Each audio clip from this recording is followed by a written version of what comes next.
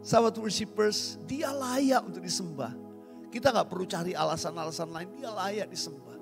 Penyembahan itu mengandung unsur ketaatan. Pada hari ini jika engkau mendengar suaranya, jangan keraskan hatimu.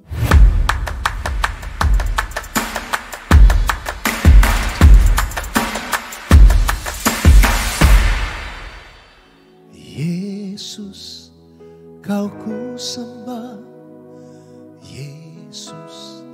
Kau ku sembah. Saat yang indah ini, kau ku sembah. Pujian ku naikkan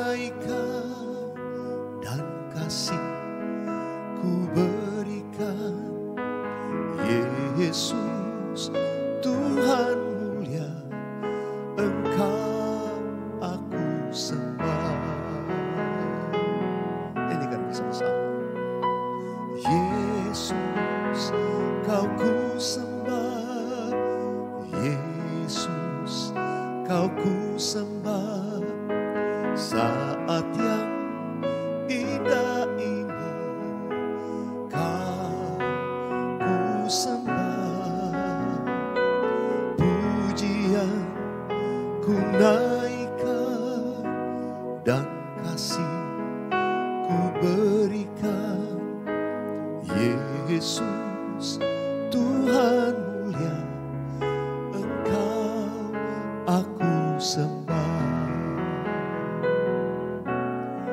Tuhan Engkau yang kami sembah hanya engkau yang kami sembah di atas segalanya.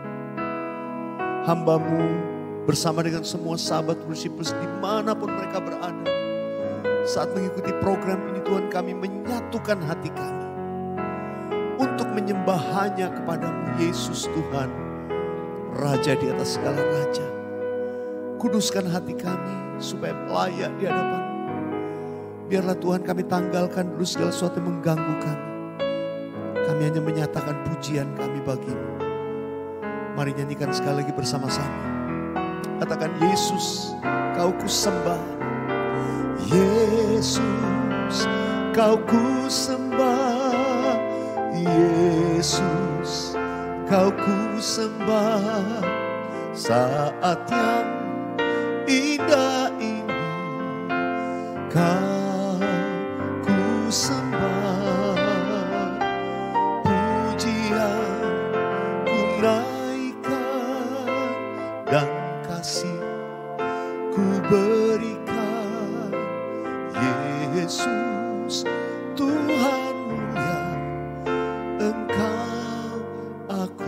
sembah Yesus Tuhan mulia Engkau aku sembah.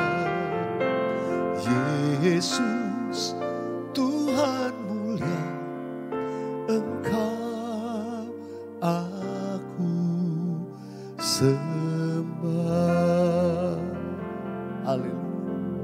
Engkau kami sembah Tuhan Tuhan Allah mulia di atas segala-galanya Engkau kami sembah Oh Rabba Shandara Laba Laba Laba Laba Ya Rabba Ya Rabba Ya Rabba Ya Rabba Ya Rabba Oh Ya Rabba Ya Rabba Ya Rabba Ya Rabba Ya Rabba Ya Rabba Ya Rabba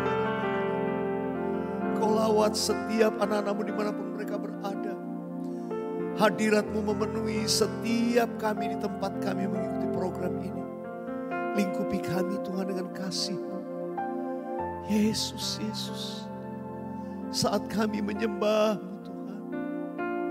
Lingkupi kami di hadirat-Mu. Ora basyakara laba laba laba. Makasih Tuhan, terima kasih. Memasuki minggu yang baru dalam hidup kami. Tuhan memberkati setiap kami. Dengan perkataan, dengan firman-Mu. Dalam nama Tuhan Yesus. Amin. Amin. Puji Tuhan sahabat worshipers senang ketemu lagi dalam program Word of the Week atau kata minggu ini atau firman minggu ini ya. Kata minggu ini yang saya berikan, yang Tuhan taruh di hati saya adalah satu kata, yaitu kata sembahyang. kata sembayang mungkin kita kalau sering mendengar semua agama juga bukan hanya orang Kristen, beberapa agama lain di Indonesia juga menyebutnya sembayang. Ayo kita mau sembayang. Saudara sebetulnya apa sesungguhnya arti kata sembayang? Kita taunya itu doa berdoa. Tapi kata sembahyang sebetulnya dari dua kata, kata sembah dan kata hyang dalam bahasa Sanskerta. Ya, kata sembah kita tahu artinya menyembah. Tapi hyang dalam bahasa Sanskerta itu artinya yang termulia, teragung, sang pencipta segalanya. Itu yang dipakai istilah kata itu. Jadi sembah yang itu artinya sembah dia yang mulia, sembah dia sang pencipta. Sahabat worshipers, dia layak untuk disembah. Kita nggak perlu cari alasan-alasan lain, dia layak disembah. Nah, pernyataan ini sembah yang sesungguhnya mengandung unsur kita menyembah dia. Jadi bukan cuma doa, pengertian kita kalau sembahyang itu artinya doa, enggak. Sembahyang itu artinya doa, pujian, penyembahan. Worship, menyembah Tuhan ya bukan cuma doa sekedar minta-minta tapi sebuah pengakuan kepada sang pencipta memuliakan dia yang termulia mengagungkan dia yang terbesar tertinggi di atas segalanya. Itu sembah kita. Sembah dia yang sang pencipta. Ada satu ayat ya tentu mungkin dua ayat saya bacakan dia dari Yesaya 45 ayat 18 terlebih dahulu. Apa yang dikatakan dalam kitab Yesaya? Kita baca di screen sudah bisa lihat. Sebab beginilah firman Tuhan yang menciptakan langit. Dia menciptakan langit. Dialah Allah yang membentuk bumi dan menjadikannya dan menegakkannya. Dan ia menciptakannya bukan supaya kosong. Tetapi ia membentuknya untuk didiami. Akulah Tuhan dan tidak ada yang lain. Tuhan menciptakan langit bumi ini, menegakkan untuk apa? Didiami Anda dan saya. Manusia ciptaan Tuhan. Tuhan berkata kamu akan berkembang biaklah dan dudukilah bumi.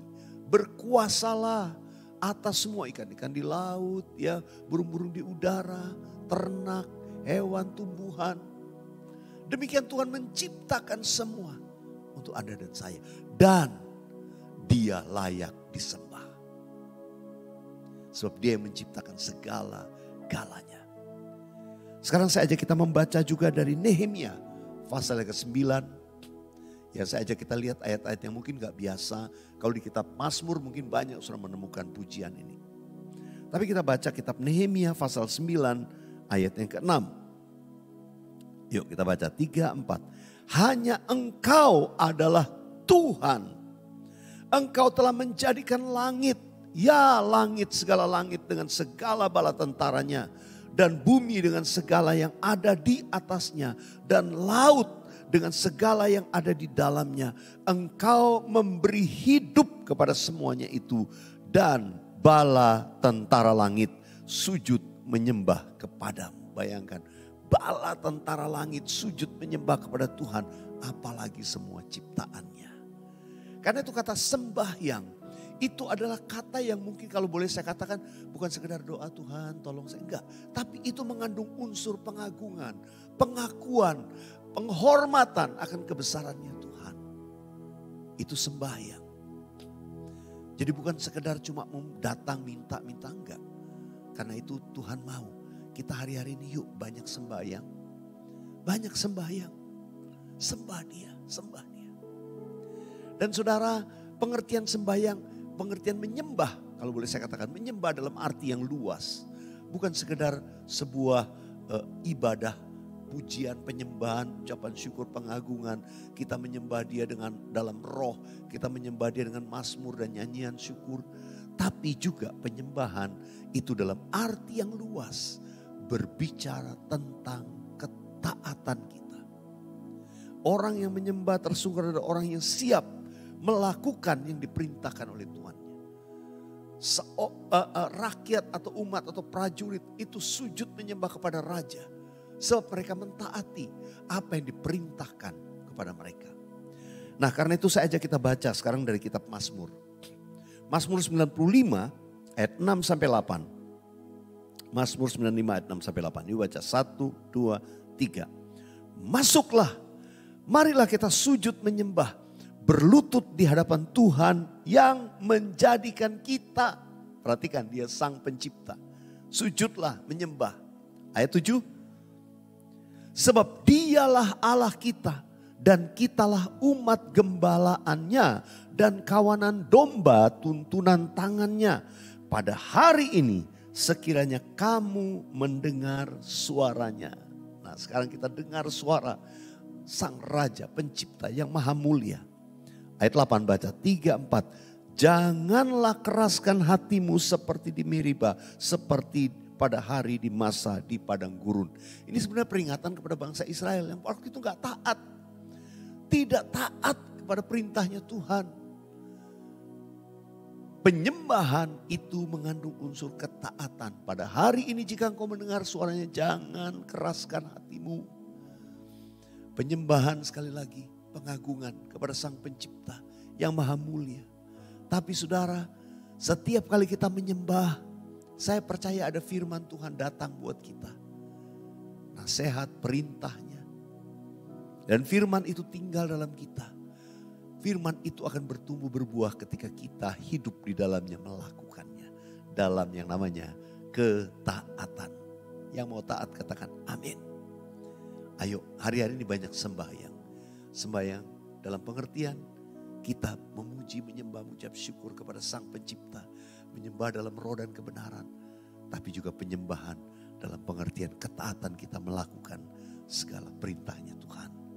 Yang mau katakan amin. Mari buka hatimu di hadapan Tuhan. Ku mau hidup seturut kehendak Tuhan. Ku mau memberi semua yang ku dapat berikan. Ku mau cinta dia lebih dari semua ku tak dapat membalas kasihnya. Sekali lagi nyanyikan. Ku mau hidup seturut kehendak Tuhan. Ku mau memberi semua yang ku dapat berikan. Ku mau cinta dia lebih dari semua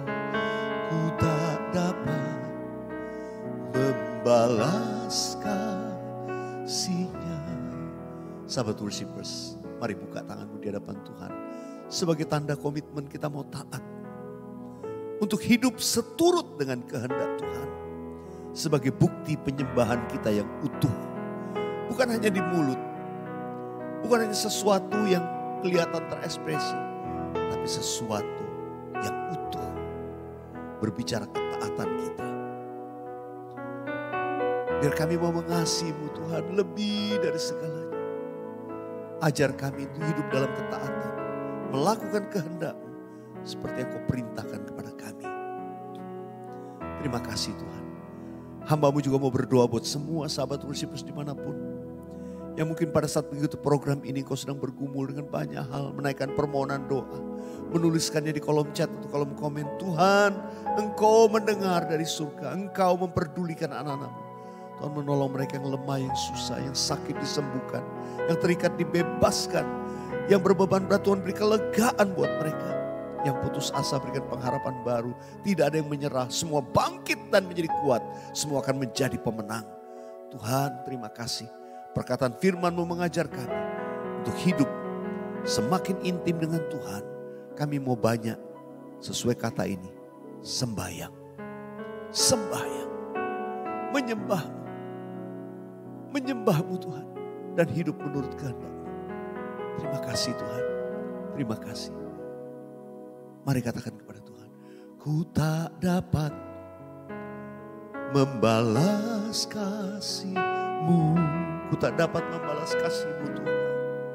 ku tak dapat membalas kasihmu.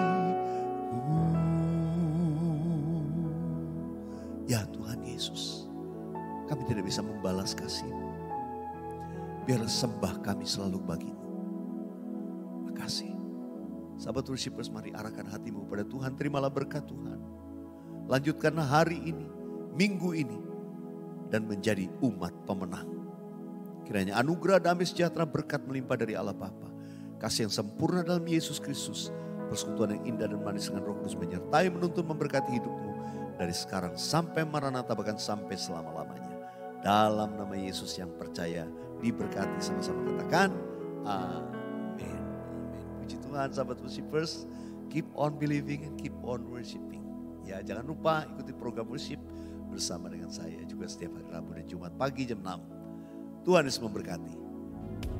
Yang Anda tabur adalah bagian penting untuk membangkitkan lebih banyak lagi sahabat worshipers di muka bumi ini.